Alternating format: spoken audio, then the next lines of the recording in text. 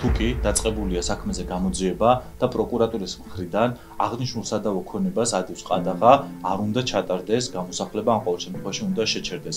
მათი იმპერატიული მოთხოვნა არის, რომ ომის ვეტერანი, დამსახურებული ადამიანი, ცირეწლოვანი შვილიშვილებით და შვილებით გამოაგდოს ქუჩაში. აღნიშნული, ასე ვთქვათ, ქმედება ახსულების ეროვნული ბიუროს მხრიდან პირდაპირ გეტყვით და მივხვდეთ, რომ ეს არის კანონის უხეში დარღვევა.